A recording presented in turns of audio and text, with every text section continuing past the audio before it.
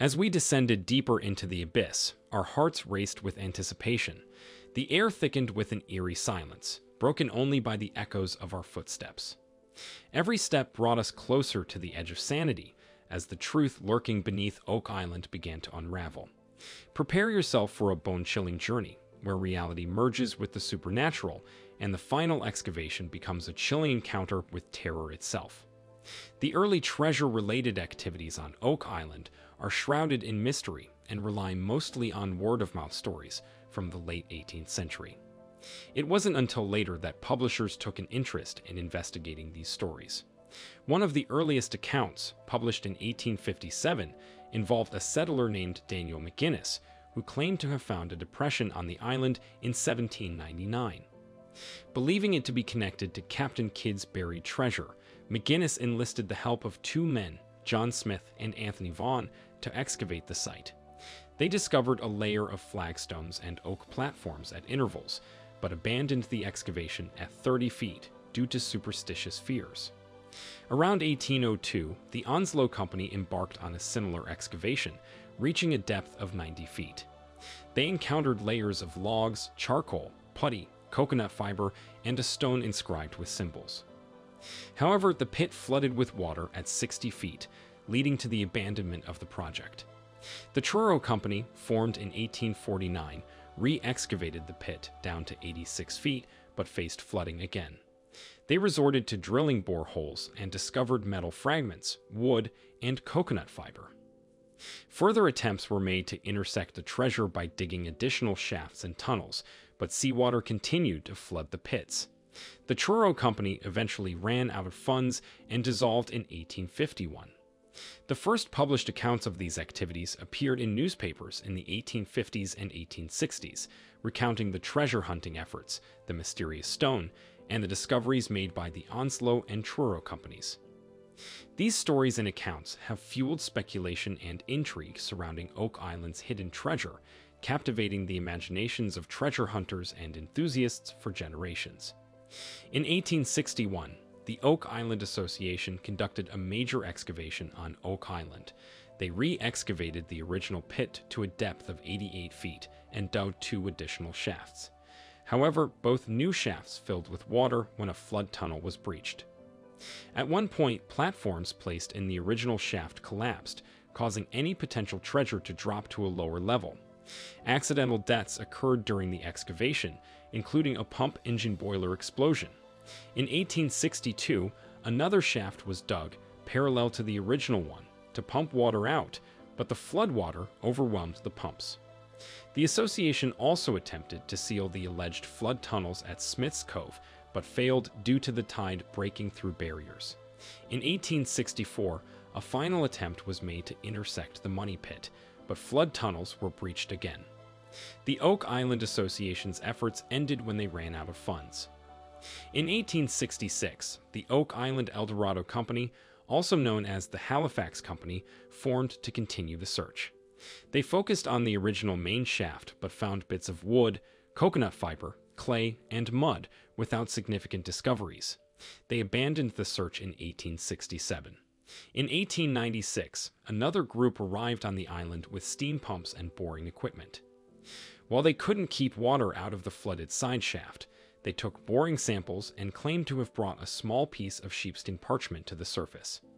The group poured red paint into the flooded pit in 1898, revealing three exit holes around the island. During the excavation attempts on Oak Island, the pit flooded with seawater at various depths. Some explorers claimed the presence of an elaborate drainage system that connected the ocean beaches to the pit. Treasure hunters suggested that coconut fibers found at Smith's Cove in 1851 indicated a man made tunnel used to feed seawater into the pit. However, geologist Robert Dunfield could not find evidence of a tunnel during his examination of the pit walls. In 1995, the Woods Hole Oceanographic Institution conducted a scientific study and concluded that the flooding was likely due to natural factors, such as the interaction between freshwater and tidal pressures, rather than a man made tunnel. The presence of water filled anhydrite cavities beneath the island, resulting from the glacial tumulus system, may contribute to the recurring flooding. The bedrock is located at a depth of 38 to 45 meters in the pit area. A stone with mysterious markings was reportedly found at a depth of 90 feet on Oak Island. The stone was described as being square, 2 feet long, and a foot thick. Different accounts suggest that the stone was built into the chimney of an old house near the pit or held by the Smith family. Attempts to decipher the markings on the stone were unsuccessful, and it was later removed and taken to Halifax. Various individuals claim to have seen the stone over the years, but no one could translate the inscription.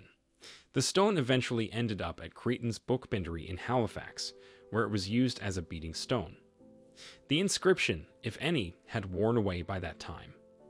Different translations of the symbols on the stone have been proposed, including 10 feet below are 2 million pounds buried, and 40 feet below, 2 million pounds lie buried. However, these translations are not widely accepted, and the true meaning of the markings remains unknown.